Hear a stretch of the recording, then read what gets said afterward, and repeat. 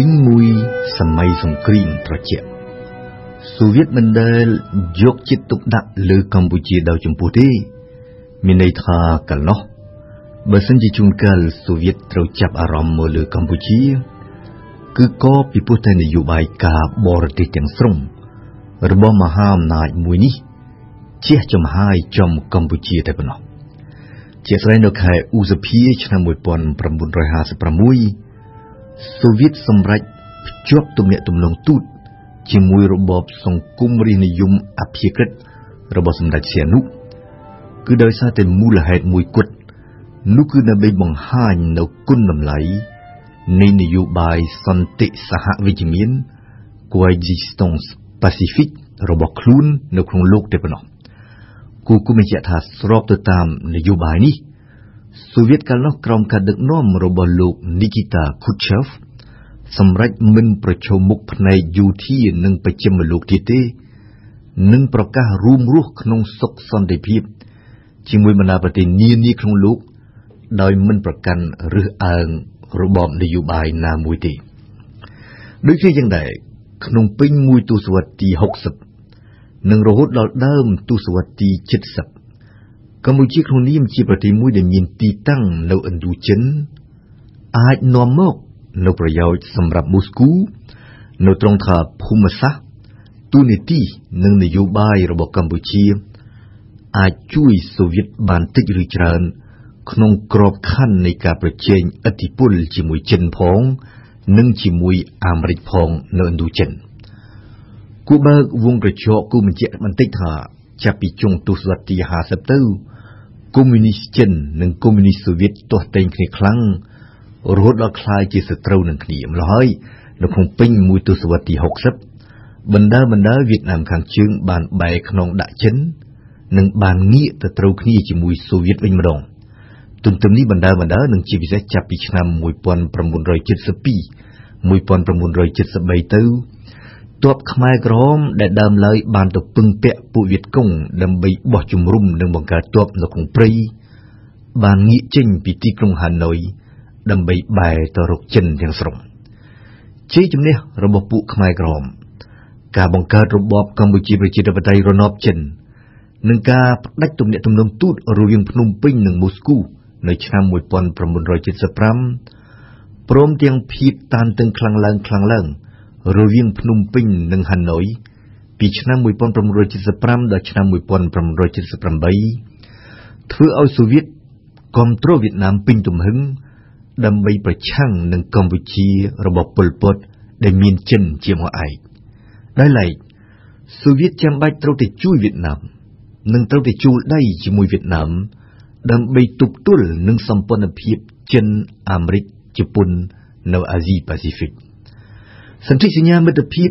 សូវៀតវៀតណាមឆ្នាំ1978នឹងការដែលសូវៀតផ្ដល់អាវុធឲ្យវៀតណាមមុនការផ្ទុះឡើងនៃសង្គ្រាមរវាងវៀតណាមនិងកម្ពុជាប្រជាធិបតេយ្យរបស់ខ្មែរក្រហមសុទ្ធសឹងជាហេតុផលមូលដ្ឋាននៃការចាប់ដៃគ្នា ក្នុងគោលដៅយុទ្ធសាស្ត្ររវាងមូស្គូនិងហាណូយដូចគ្នាជាងដែរនៅដើមទសវត្សរ៍ទី80 រដ្ឋកម្ពុជាមិនមែនជាសារៈប្រយោជន៍យុទ្ធសាស្ត្រដោយចំពោះសម្រាប់សូវៀតទេ តែមានទំនាក់ទំនងល្អជាមួយសូវៀតដោយសារតែកម្ពុជាសម័យនោះ ជាប្រទេសរណបវៀតណាម ជាប្រទេសដែលកាន់កាប់ដោយវៀតណាមក៏ប៉ុន្តែកាលនោះបន្តិចម្ដងបន្តិចម្ដងប្រយោជន៍របស់សូវៀតនិងប្រយោជន៍របស់វៀតណាមដែលកាន់កាប់កម្ពុជា ចាប់ផ្ដើមមានលក្ខណៈខ្វែងគ្នា ការដែលរបបខ្មែរក្រហមការពីដោយចិនរលាយនិងការដែលរដ្ឋកម្ពុជាស្ដាប់បង្គាប់ហាណូយទៅបិទស្ថិតនៅក្រោមការកាន់កាប់របស់ហាណូយពិតជាជួយពង្រឹងបានល្អមែនសន្តិសុខរបស់វៀតណាមទាំងមូល តែសភាពការនេះមិនផ្ដល់ប្រយោជន៍យុទ្ធសាស្ត្រទាល់តែសោះដល់សូវៀតផ្ទុយទៅវិញវាធ្វើឲ្យសូវៀតដែលគ្រប់គ្រងនឹងការពីវៀតណាមខូចឈ្មោះខ្លាំងនៅអាស៊ីអាគ្នេយ៍ គូគូបញ្ជាក់ថានៅចន្លោះឆ្នាំ1979 1980សូវៀតដែលតាំងខ្លួនជាអ្នកការពារសន្តិភាពតំបន់អាស៊ីអាគ្នេយ៍ត្រូវបង្ខំចិត្តធានាប្រាប់បណ្ដាសមាជិកអាស៊ាន ដូចជាសិង្ហបុរី ថៃ ហ្វីលីពីន ឥណ្ឌូនេស៊ី និងម៉ាឡេស៊ីថាកងទ័ពវៀតណាមដែលកាន់កាប់កម្ពុជានឹងមិនជួលឈ្លានពានទឹកដីថៃទេ មានព្រឹត្តិការណ៍ពីរ ដែលអាចបំភ្លឺប្រយោជន៍ខ្វែងគ្នារវាងសូវៀតនិងវៀតណាមកាលសម័យនោះទីមួយគឺការវាយលុករបស់កងទ័ពវៀតណាមជួលដល់ទឹកដីថៃនៅខែមិថុនាឆ្នាំ1980ដើម្បីតាមកំចាត់ទ័ពខ្មែរក្រហមទោះបីជាមានការហាមឃាត់ពីសំណាក់មូស្គូក៏ដោយទី2គឺការដកលោកប៉ែនសវណ្ណចេញពីតំណែងនៅខែធ្នូឆ្នាំ1981 ត្បិតលោកប៉ែនសវណ្ណហ៊ានតាក់ទងផ្ទាល់ជាមួយមូស្គូដោយមិនឆ្លងកាត់តាមហាណូយអវត្តមាននៃប្រតិកម្មរបស់សូវៀតចំពោះការដកលោកប៉ែនសវណ្ណដោយវៀតណាម បង្ហាញថាសូវៀតមិនចាត់ទុករដ្ឋកម្ពុជាជាសារៈប្រយោជន៍យុទ្ធសាស្ត្រដោយចំពោះទេនិយាយបែបផ្សេងកាលសម័យនោះសូវៀតចង់ឲ្យកម្ពុជាតាក់ទងខ្លួនតាមរយៈវៀតណាមសូវៀតត្រូវការវៀតណាមជាងកម្ពុជា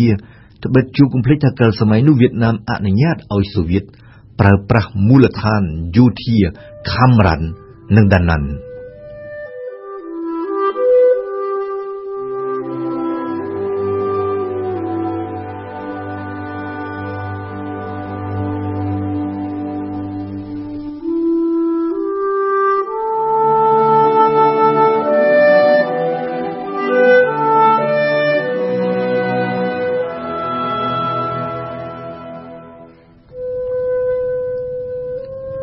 រដ្ឋកម្ពុជាផ្ដើមថ្លាយជាសារៈប្រយោជន៍យុទ្ធសាស្ត្រសម្រាប់មូស្គូវិញនៅខែមីនាឆ្នាំ1982នៅពេលដែលសូវៀតរបស់លោក Leonid Brezhnev និងចិនរបស់លោក Deng Xiaoping ចាប់ផ្ដើមតាក់ទងគ្នាបណ្ដើបណ្ដើឡើងវិញ តាំងពីពេលនោះមក កម្ពុជាគឺជាសំណុំរឿងសំខាន់នៅសឹងគ្រប់កិច្ចសន្ទនារវាងមូស្គូនិងប៉េកាំងលក្ខខណ្ឌដែលដាក់ដោយចិនគឺ ការទាមទារឲ្យសូវៀតធ្វើសម្បទានក្នុងបញ្ហាកម្ពុជាទន្ទឹមនេះពីឆ្នាំ1982រហូតដល់ឆ្នាំ1988និងជាពិសេសតាំងពីលោក Mikhail Gorbachev ឡើងគ្រប់គ្រងសូវៀតនៅឆ្នាំ1985មកថ្នាក់ដឹកនាំអាស៊ាននាំគ្នាធ្វើទស្សនកិច្ចនៅមូស្គូបន្តបន្ទាប់គ្នាគោលដៅគឺស្នើសូវៀត ឲ្យបង្ខំវៀតណាមដកទ័ពចេញពីកម្ពុជា និងឲ្យសូវៀតជួយដោះស្រាយបញ្ហាកម្ពុជា នៅទីបំផុតនាយកទេសនកិច្ចរបស់អគ្គលេខាធិការបកកុម្មុយនីសវៀតណាមលោកញៀនវ៉ាន់លីននៅសូវៀតក្នុងខែឧសភាឆ្នាំ1987សេចក្តីថ្លែងការណ៍រួមរវាងមូស្គូនិងហាណូយប្រកាសថាវៀតណាមនឹងដកទ័ពឲ្យអស់ពីកម្ពុជា នៅចុងឆ្នាំ1989តាមរយៈដំណោះស្រាយបញ្ហាកម្ពុជា ដោយដាក់សម្ពាធជានិច្ចទៅលើវៀតណាមរហូតដល់កិច្ចព្រមព្រៀងទីក្រុងប៉ារីនៅឆ្នាំ1991សូវៀតចង់ធ្វើឲ្យបណ្ដាប្រទេសអាស៊ីអាគ្នេយ៍ដែលមិនមែនកុម្មុយនីសកក់ក្ដៅចិត្តឡើងវិញនិងចង់បង្កើនឥទ្ធិពលរបស់ខ្លួន នៅក្នុងតំបន់ក្នុងនាមជាមហាអំណាចអាស៊ីមួយនឹងគេដែរ កំណែចាប់ពីឆ្នាំ1991ទៅអ្វីអ្វីក៏ប្រែប្រួលអស់រលីងសហភាពសូវៀតរលំសង្គ្រាមត្រជាក់រលត់រុស្ស៊ីคล้ายជាអ្នកស្នងមរតកនយោបាយនិងភូមិសាស្ត្រនយោបាយពីអតីតសហភាពសូវៀតនៅក្នុងបរិបទនេះចាប់ពីឆ្នាំ1993មកកម្ពុជាคล้ายជាប្រទេសឯករាជ្យនិងជាគោលការណ៍ អាចធ្វើជាដៃគូសន្ទនាពេញលេញរបស់រុស្ស៊ីដើម្បីស្វែងរកផលប្រយោជន៍រួមគ្នារវាងភាគីទាំងពីរប៉ុន្តែមកទល់ពេលនេះសហប្រតិបត្តិការគ្រប់វិស័យរវាងភ្នំពេញនិងមូស្គូមានកម្រិតទាបខ្លាំងការផ្ដោះប្ដូរពាណិជ្ជកម្មរវាងប្រទេសទាំងពីរមានមិនដល់50លានដុល្លារផងនៅឆ្នាំ2015និស្សិតខ្មែរចំនួន8នាក់ប៉ុណ្ណោះទទួលបានអាហារូបករណ៍ សម្រាប់ឆ្នាំ2016-2017ពីរដ្ឋាភិបាលរុស្ស៊ីសូម្បីតែអ្នកទេសចររុស្ស៊ីដែលមកកម្ពុជាក៏ថយចុះខ្លាំងប៉ុន្មានឆ្នាំចុងក្រោយនេះដែរមានប្រមាណតែជាង50000នាក់ប៉ុណ្ណោះនៅឆ្នាំ2015ទល់នឹងជាង100,000នាក់ឯណោះនៅឆ្នាំ2014សហប្រតិបត្តិការមិនសកម្មរវាងមូស្គូនិងភ្នំពេញជាផលវិបាកនៃនយោបាយការបរទេសទាំងស្រុងរបស់រុស្ស៊ីដែលមកទល់ឥឡូវ មិនអោយតម្លៃដល់អាស៊ីឬលូកដៃចូលមកអាស៊ីមិនចុះរុស្ស៊ីមានជើងម្ខាងនៅអឺរ៉ុបនិងជើងម្ខាងទៀតនៅអាស៊ីក្នុងសម័យសង្គ្រាមត្រជាក់សូវៀតដែលខ្លាំងស្មើដៃគ្នានឹងអាមេរិកមានឥទ្ធិពលមនោគមវិជ្ជានិងនយោបាយទៅលើអឺរ៉ុបផងនិងទៅលើអាស៊ីផងប៉ុន្តែក្រោយឆ្នាំ1991រុស្ស៊ីដែលជាយៈយោធាតែជាកន្ទឿសេដ្ឋកិច្ច ត្រូវកាត់បន្ថយនិងកាត់ផ្តាច់ជំនួយដល់កូរ៉េខាងជើងវៀតណាម កម្ពុជានិងឡាវហើយសម្រាប់ចិត្តគិតគូររហូតមកទល់ពេលនេះ ទៅលើតែមួយជំហៀងខ្លួនរបស់ប្រទេស គឺមួយជំហៀងខាងអឺរ៉ុបជាក់ស្ដែងប៉ុន្មានឆ្នាំដំបូងនៃការគ្រប់គ្រងរដ្ឋរបស់លោកបូយេលស៊ីនពីឆ្នាំ1991ដល់ឆ្នាំ1996រុស្ស៊ីបែរទៅរកទិសខាងលិច ចង់ក្លាយជាប្រទេសឧស្សាហកម្មជឿនលឿនជាទីផ្សារសេរី និងជាលទ្ធិប្រជាធិបតេយ្យឲ្យបានលឿនរហ័សតាំងពីឆ្នាំ2000មក ប្រធានាធិបតីរុស្ស៊ីជាបន្តបន្ទាប់លោក Vladimir Putin លោក Dmitry Medvedev និងលោក Vladimir Putin ជាថ្មី មានមហិច្ឆតាមួយធំនោះគឺផ្ដល់សន្ទុះថ្មីដល់ការទូតរុស្ស៊ីដើម្បីស្លៀតសន្ធឹងឥទ្ធិពលភូមិសាស្ត្រនយោបាយរបស់រុស្ស៊ី ទៅលើលំហដែនដីនៃអតីតសហភាពសូវៀត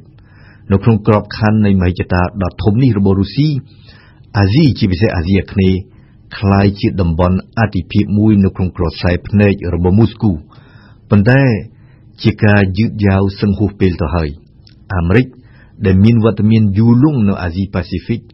ខ្ទប់មិនឲ្យរុស្ស៊ីមានមុខមាត់និងឥទ្ធិពលនៅក្នុងតំបន់ចិនវិញ